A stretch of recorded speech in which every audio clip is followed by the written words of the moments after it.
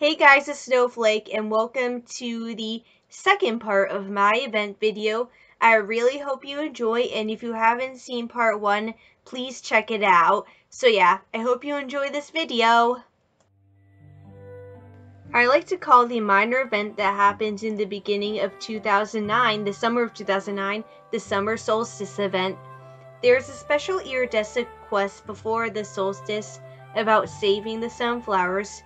Sweet Pea even paid a surprise visit in the summer glade. When the solstice began and the sunflowers were saved, Iridessa showed up at some public parties. Camp Pixie Dust is Pixie Hollow's longest event, with it lasting the whole summer. It began in 2010 and it was from the solstice to late August and it returned in 2012 and 2013, lasting from the solstice until early September. This event brings the mainland summer camp fun to Pixie Hollow. You'd earn a sign-up badge in Havendish Square, and many of the areas in Havendish, as well as Snowcap Glade, would be decorated. The ballroom would be a pool with an interactive beach ball and interactive fountains in 2010, and there would be a ballroom gift in 2010 and 2013. The theater had a campfire where Lyria would perform campfire stories, and that was Pixie Hollow's first theater performance. There was a performance scheduled in 2010, but was at the top of every hour in other years. In 2010, you could act out stories written by contest winners when there's no performance. Also that year, for the last week of camp, the campfire was replaced with a stage, and there's a ceremony famous fairy visit every day that week. There are five troops, one for each talent. Uniforms were sold at Cassie's.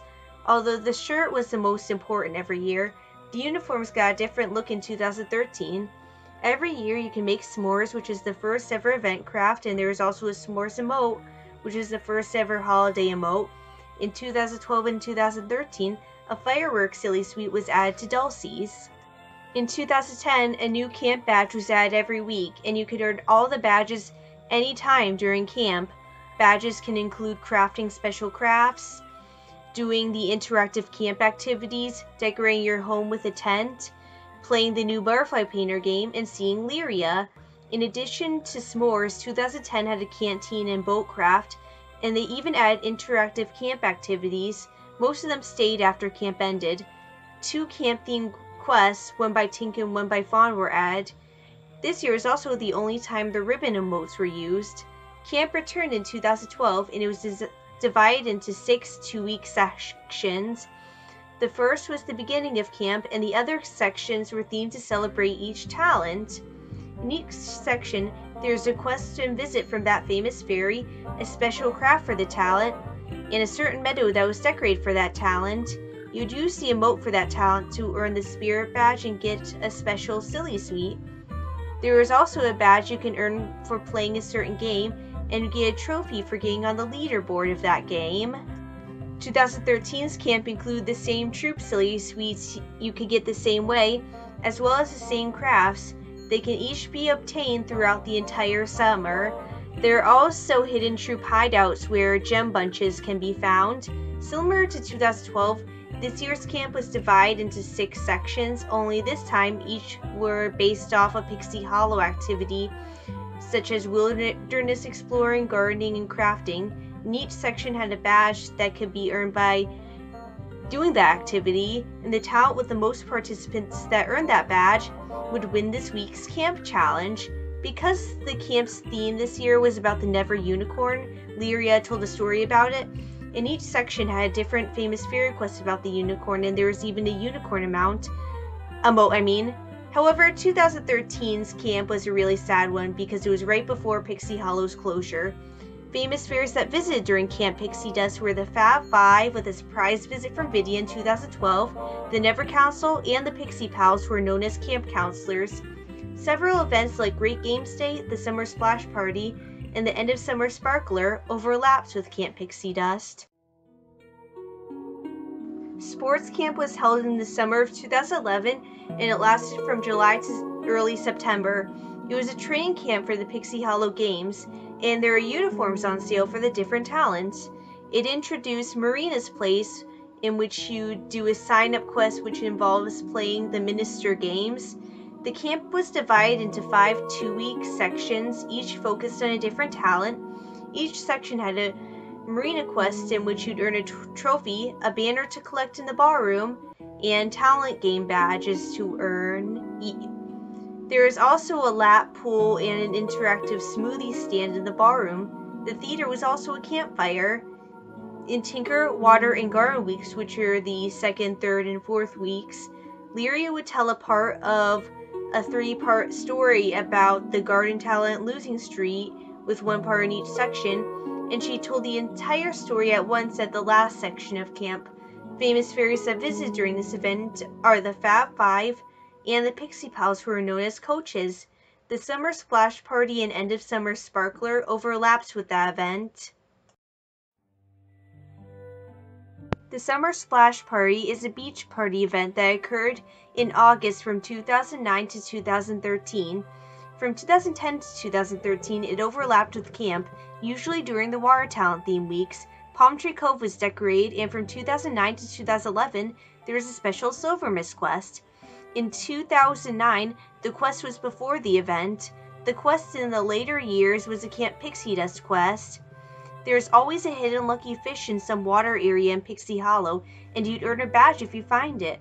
In 2013, the lucky fish showed up in the beginning of Camp Pixie Dust because it doesn't want to wait till a summer splash party. Famous fairies that visited during this event include Silver Mist, Iridessa, Tink wearing Rosetta's dress, and the camp counselors. The most depressing event in Pixie Hollow's history is the Pixie Hollow Farewell event. It occurred between August, the August 20th announcement of Pixie Hollow's closure and the September 19th closure. It was the last month of Pixie Hollow and it overlapped with the end of Camp Pixie Dust 2013 and the end of Summer Sparkler that year. Everyone had a free membership and the shops were filled with a bunch of items from Pixie Hollow's past. Event locations were open to all with free giveaways, and the bar was open to everyone with a farewell badge. Each Never Council member shared their favorite Pixie Hollow memory in the Never News, but this event is what some consider to be the dark age of Pixie Hollow, as it was all miserable as our favorite game was about to be clo- closing. I'm so glad Fairy ABC is open now. The end of Summer Sparkler occurred from 2009 to 2013 in early September, and it was during the farewell event in 2013. And it's to celebrate a super fun summer because it's time to focus on autumn. Acorn Summit and Springtime Orchard are decorated with these beautiful lanterns, which are some of my personal favorite event decorations. The event merged with camp from 2011 onward, and is unfortunately Pixie Hollow's last event and the 2013 Sparkler, as I said, mainly focused on Pixie Hollow's closure. In 2009, there's a special badge to earn from playing Fairy Fireworks, and there's an Iridessa quest in 2009 to 2010. It was the camp quest in later years. In 2009, the quest was before the event started, and there's a free gift in Springtime Orchard in 2009. Iridessa also visited during that event most years. The changing of the leaves is all about preparing for autumn, and it repeated the least number of times out of most of the events. It was from 2009 to 2012, right before the new season. Each meadow in the autumn forest had a different leaf preparation station, and the stations became interactive in 2011. In 2009, a leaf painting machine in Cotton Puff Field was covered up before it was eventually revealed. There is always a quest, which is usually a Tink quest, but was a Fawn quest in 2010. There are two Tink quests in 2009, and there is a Ballroom gift in 2012. Famous that visit during this event include Tink and the Minister of Autumn. The changing of the leaves had the first ever minister visit. The autumn equinox was at the beginning of fall after the changing of the leaves. It was usually a minor event. In 2009, there are some banners in the autumn forest, and there are even some treats in the pumpkin patch. The 2010 equinox corresponded with a welcome home party. 2011 had banners in the autumn forest, an open ballroom, and Havendish Square decor. while 2012 had a ballroom gift and a golden acorn hunt in the autumn forest. This event is when the Minister of Autumn visits. The Welcome Home Party was held in fall 2010, and it was basically when an autumn equinox event would have been. The event is to celebrate the release of the Great Fairy Rescue movie and Tink and Vidia returning home from the mainland. The event introduced Vidia's Daily Spin, an Acorn Summit and Cotton Puff Field were even decorated to welcome Tink and Vidia. And there's even the boat from the movie in Cotton Puff Field. Tink had a quest where the reward was a key to Lizzie's fairy house with all sorts of collectible home decorations, and it was the first ever special event location in Pixie Hollow. Havendish Square and the barroom were decorated with drawings Lizzie made, and there's even a collectible drawing in the barroom. Famous fairies that visited during this event were Tink, Vidia, and the Minister of Autumn. The Moon Festival is a Fairy ABC exclusive event and it has occurred from September to early October in 2016 and 2017. In 2016, there's a special event meadow in 2017, there are interactive lanterns in Rose Island, a famous fairy visit, and a badge for attending that visit. The event is based on the Chinese legend of the moon and mooncake. Pixie Hollow's anniversary is in early October, and it was the anniversary of when the beta ended back in 2008. In 2010, a party hat was given to members for the second anniversary, and the Never Council made a surprise visit to Havendish Square. In 2013, party hats were sold at the Pixie Post Office for the fourth anniversary. Now, keep in mind that this year, this fall, we're going to celebrate the 10th anniversary. The Berry Harvest Festival is Pixie Hollow's first ever event, and it was held in early October 2008 and hasn't returned since, even though it was said to be an autumn tradition. This event is all about gathering berries, and you'd earn a badge for gathering 10 berries. And everyone that logged on also got free shoes. Tinkerbell's Arrival Day Party was said to be Pixie Hollow's first big event, and it was held in late October 2008, around the release of the first Tinkerbell movie. Berries were asked to find a secret party location in Pixie Hollow, which ended up being the New Meadow Cotton Puff Field. Fairies could earn a badge, get a free hammer decoration, and maybe see Tinkerbell. Tinkerbell's visit during this event was the first ever famous fairy visit in Pixie Hollow.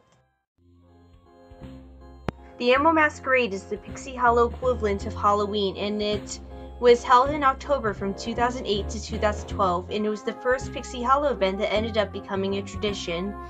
Animal costumes were sold in the shops and new costumes were added every year, as well as the return of classic costumes.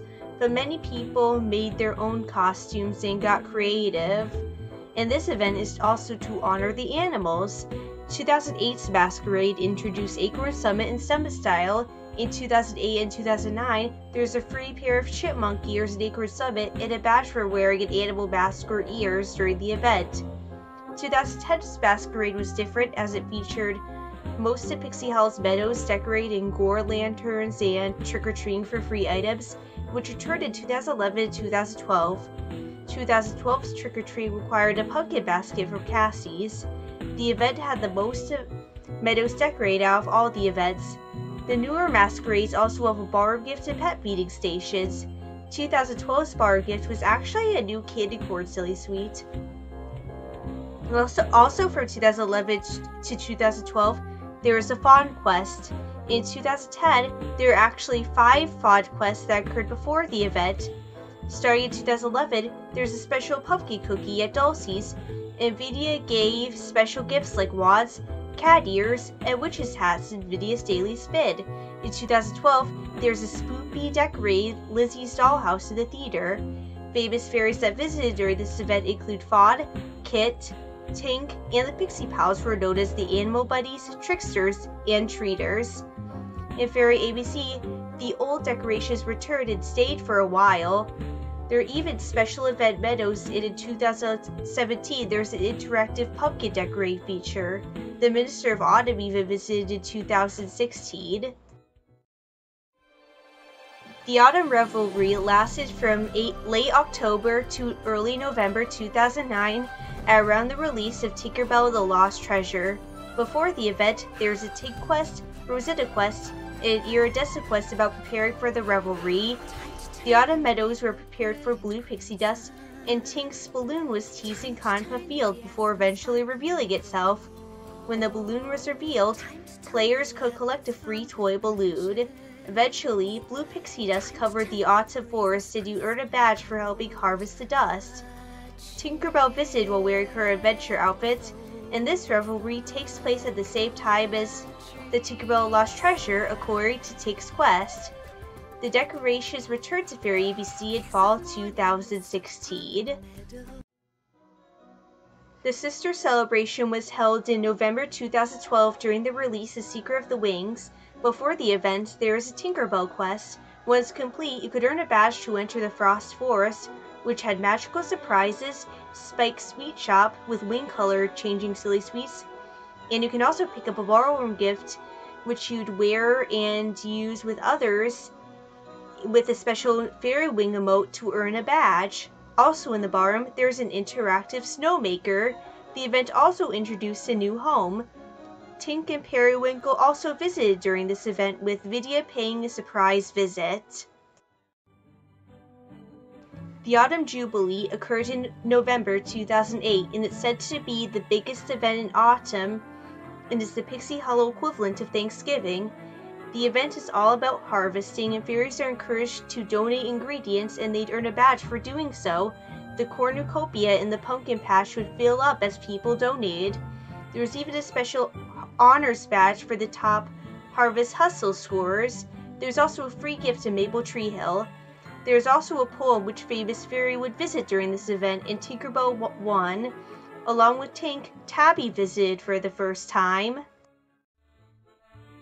The Fairy Feast is a fall event that's the Pixie Hollow equivalent of Thanksgiving, and it replaced the Autumn Jubilee and lasted from 2009 to 2012. There is a pumpkin patch cornucopia from the Jubilee every year, and it gradually filled up in 2009. Also in 2009, there is a long table full of food in Acorn Summit. Every year, there is a quest, and the quest was before the event in 2010. It was a Fawn quest in 2009 and 2010, and it was an Iridessa mystery quest in other years. Starting in 2010, you could earn a badge for making soup in Acorn Summit and decorating a cake in Cotton Puff Field. Also starting that year, there was a pumpkin cake in Del- Dulcie's and even a pumpkin cake emote. Starting in 2011, there's a delicious ballroom gift and interactive cake tables in the Autumn Forest. In 2010, there's a badge for hosting a party game, and in 2012, there was a kitchen in the theater. Famous fairies that visited during this event include Fawn, Sweet Pea, and the Pixie Pals who are known as chefs. Decorations were also used in Fairy ABC in 2017. The cake was even interactive. The Pixie Hollow Games event was held in late November 2011 at the around the time the games were aired. First, there was a Marina quest. Once complete, you got to visit the construction zone of the new Fairy Coliseum Meadow and get a free gift there. The theater became a cheer zone and some of the meadows had banners cheering on a certain talent. After the games aired, the Fairy Coliseum officially opened. Theater had a slideshow of highlights from the games, and there was a badge for being one of the original racers of Animal Derby, and there are also special items in Vidia's Daily Spin. Famous fairies that visited during this event were Rosetta, Chloe, and the Pixie Pals who are known as the coaches. This event is the first and only time Chloe visited. The Great Winter Light Up was held right before the winter solstice, and it's about decorating the winter woods with lights so the winter fairies could work in the dark. In 2008, it was about lighting fireflies and encouraged fairies to play Firefly Light Up. Iridessa paid a surprise visit to Springtime Orchard. Starting in 2009, the winter woods are decorated with beautiful lights. The music was muted as the winter fairies were heard working. In 2009 and 2010, you'd earn a badge by playing fairy fireworks. Starting in 2010, there would be a Silver Mist quest where the reward would be a key to the Ice Palace. In 2012, there was a special ballroom gift. Famous fairies that visit during this event include Iridessa, Silver Mist, and the Pixie Pals were known as snowflakes or snow fairies. The Great Winter Light Up had Iridessa's first ever visit. And last but not least, it's time to talk about my favorite way to end the year the Winter Wonderland Party.